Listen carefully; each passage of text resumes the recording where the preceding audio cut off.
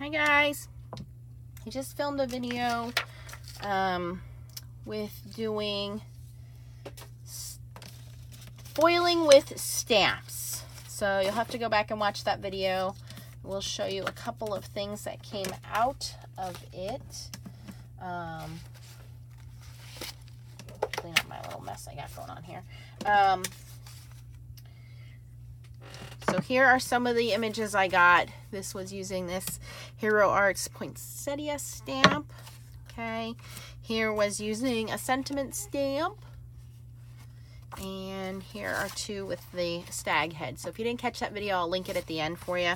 Um, but uh, while I was doing this, I thought, well, you know, I have the foil quill for my um, Gemini machine.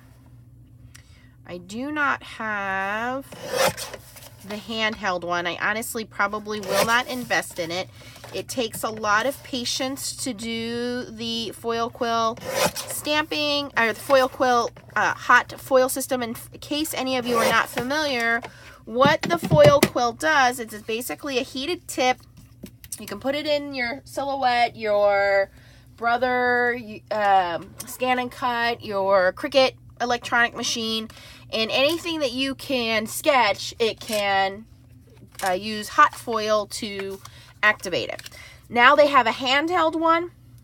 So what I got out is my, um, this is from Becky Higgins, but I believe We Are Memory Keepers does manufacture this.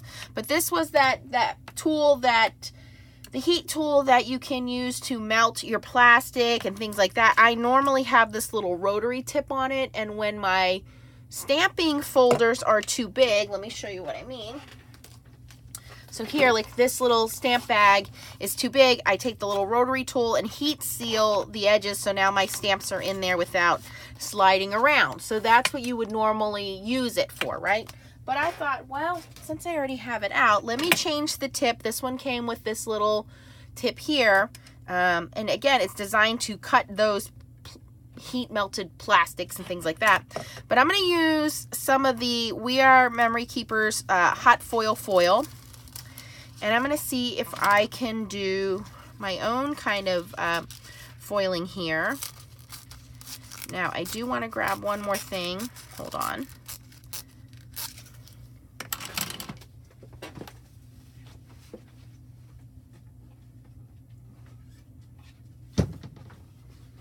Now this I picked up at, I think, Home Depot. Either Home Depot or Lowe's, and it's just a 12 by 12 piece of steel. Now, I know there is a magnetic mat sold by We Are Memory Keepers.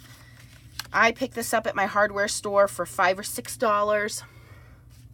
And you can use magnets to hold down your paper and your foil. So let me grab some magnets out of my Minc here. I mean my uh, mini MISTI, MISTI, my MISTI tool. So these are my MISTI magnets. Okay, so here's my thought. I don't know if this is going to work or not. You guys are watching me do a live experiment here. Now here's one thing I will tell you. This will not work with regular foil. You, you have to use heat activated foil.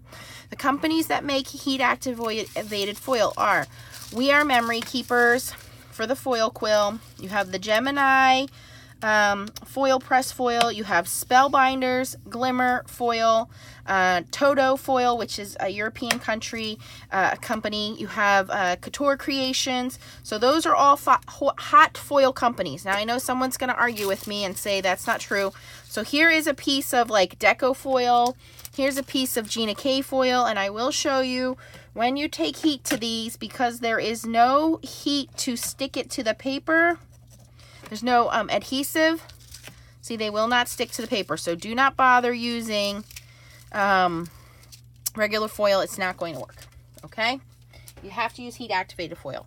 Anyway, so this is the general idea of the foil quill. If you think you're going to be interested in that, so that is something you're going to use, go ahead and go out and grab one of those. I'm probably not going to. I wanted to see if it would work with something I already have in stock. So I'm going to use some of this detailed ink from Brutus Monroe. This is a permanent ink because I'm going to be stamping on a slick surface here, which is this silver heat activated foil. Let me move this piece out of the way here. And I just want to stamp this image down onto, again, heat activated foil. Okay, it's going to give us an idea here. And you want that shiny side up. You want the matte side down. Now there's a couple different size tips you can get on the foil quill. There's fine, there's regular, there's bold, there's calligraphy. So this I would assume would be considered more of a fine tip. This is a plug-in one. The foil quill you would plug into some kind of a battery box. It's powered by USB. So at this point, all you're going to do is very carefully trace your image. This is going to give you that hand-drawn look. But what it's doing is, as it's heating up the foil, it's activating the adhesive that's built into the foil. And that adhesive is now taking the foil and allowing the foil to stick to our paper underneath. Now, this may not work on this particular tool. I don't know what are the heat settings on the original foil quill. But I was just, again, using what I have in my drawer. And I know a lot of you already have this tool. And maybe you thought about this. Maybe you didn't think about it. I don't know. I personally don't see myself going out and buying the foiling uh, quill hand machine, but I, I, I do have the one that goes that's attached to the silhouette, and I made a couple cards with it, and it's pretty cool.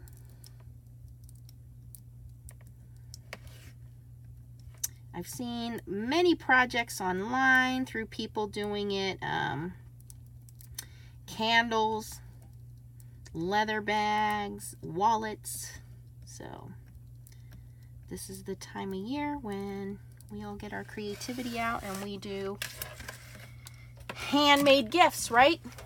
Oh, hopefully my head wasn't in the way. All I'm doing is tracing my stamped image. That's it. So far, so good. It's not melting my foil. That's really what I was afraid was going to happen.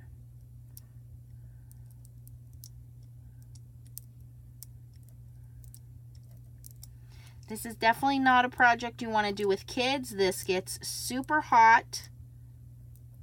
Think of it as like a soldering iron. Pretty much what it is.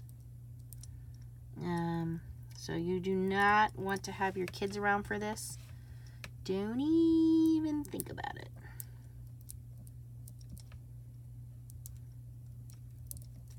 I don't want to stop mid-project here, but I am going to kind of speed along here so my lines may not be as nice. But I just want to do a do this quickly and see how the reveal works, if if it works.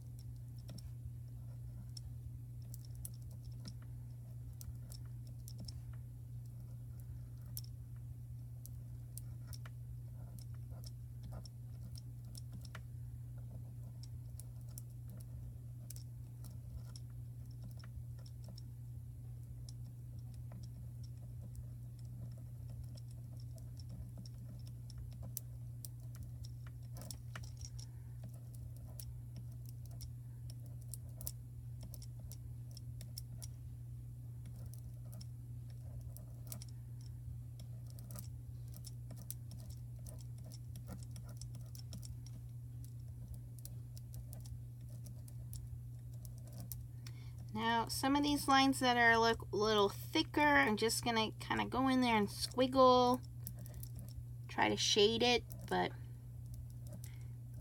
again, for the average person that you're going to give this to, they're not going to know that you traced a stamp. They're going to think that you drew this, and they're going to wonder how you drew it and got it foiled. So, that's your trade secret.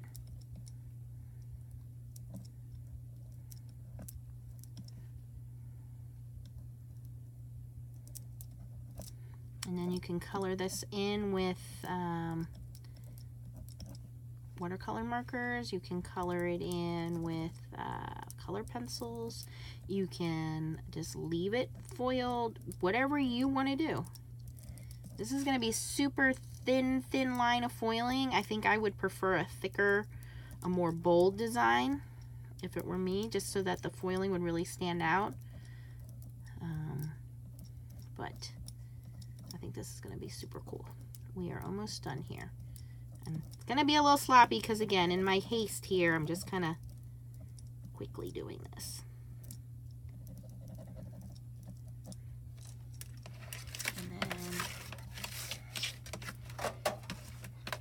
Just looking it over, making sure I got everything. And I think I'll just real quick see if I can scribble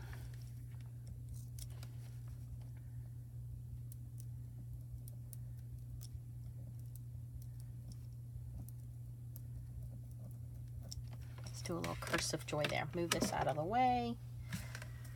Okay, are we ready for the reveal? I honestly don't know if this is going to work or not. Like I said, was using the tool to seal up some of my stamp bags and thought, hmm, wonder if that'll work. Ta-da! It did work. Oh, I missed a whole line right there. Whoops. Well, can't fix it now. Well, I could, I could kind of wing it here. Let me see. Pretty good, Nance. All right, so what it actually did, there you can see, is it traced my stamp image and now it is foiled and the little joy that I wrote on there. If you have stencils, you can do this with stencils. Um, in fact, let me see here. Let's pull out the little stencil guys. I don't know that I would recommend a plastic stencil. I would be afraid that it would eventually melt my plastic stencil unless it's a heat safe stencil. But I know somewhere I have some little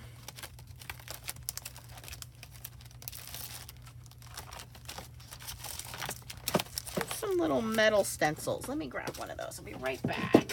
Hold on.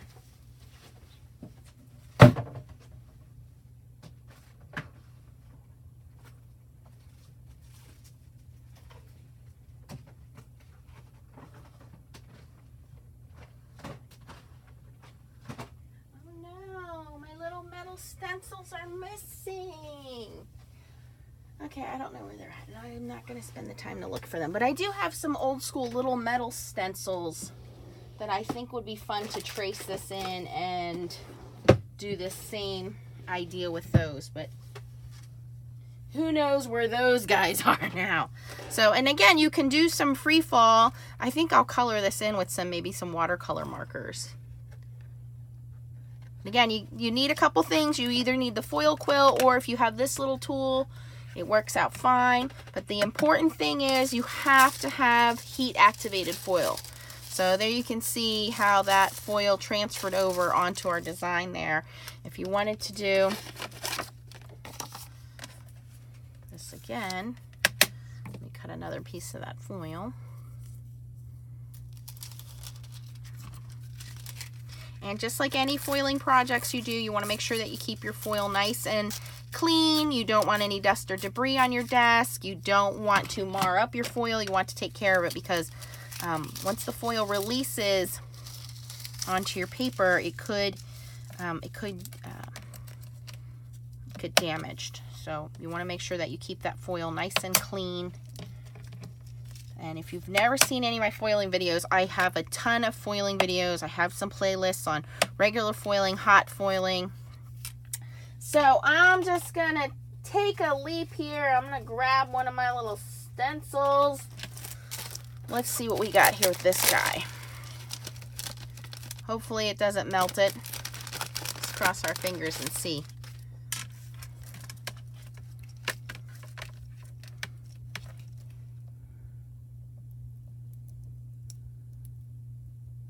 Trying not to touch that stencil.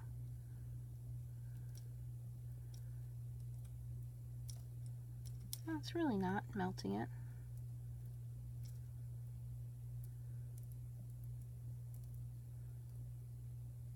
I think if you move quickly enough, you don't have to worry about it. Don't try this at home, guys. Let Nancy ruin her stuff so you don't ruin yours. Like I said, somewhere I have a little a little doodad of metallic uh, metal stencils that I used to use. You know, back in the day, we all used them for like chalk and embossing paste and all that good stuff. So I have a stash of them somewhere. I gotta find them. Then I'll go through and trace those with my fancy, fancy tool here. All right, it is melting the stencil now on the inside. I can see that. All right, well, let's see if this works. In theory, don't use plastic stencils. Ta-da! Does work. Come on, camera, focus. There we go. So there we go. I made my own foil quill without buying the foil quill. There we go. Focus. All right. So there we go, guys. I just wanted to show you that. Again, if you have any questions, post them down below. If you have any questions or comments, I will link everything that I use for you. Again, the biggest secret here is that you have to use heat-activated foil. You cannot use Deco foil, Heidi Swapp foil. Um, oh, that's not true. Let me correct myself. You can use those foils if you are going to be foiling on top of uh, vinyl. What do I mean by that? What I mean by that is, let me grab a spare piece of vinyl here. Like heat transfer vinyl. So, not heat transfer, regular, you know, vinyl. So this is vinyl, you know, I would cut out a decal and I would um, stick it on something. So let me show you guys. You can use regular foil because what happens is this vinyl ends up melting. I'll show you. So here's that piece of beautiful foil. This is not heat activated foil. This is, I believe, Gina, Gina K's foil. Okay. So if you wanted to stick this on something, you can melt the foil onto the vinyl.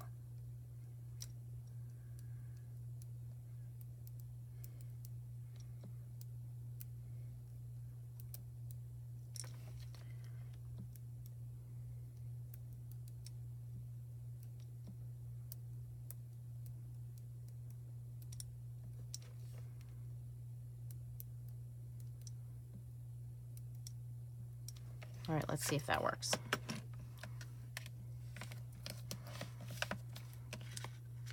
It did not work. Never mind. I don't think this tool gets hot enough. That would have been cool if it worked. Let's try that again. Let's try the, uh, where'd my silver foil go? Oh, it is.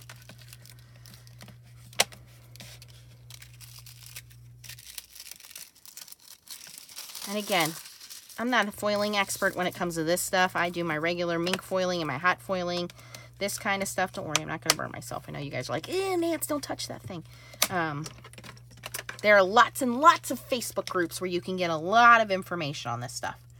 You want to know about Minc foiling or regular hot foiling? I'm your girl. You want to know about foiling quill, foil quill or stamped foiling? Not your girl, sorry.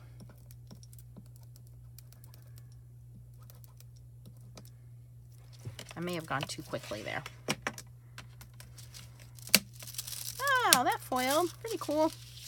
Not that I'll do anything with it, but... Oh, you guys see it? Focus camera.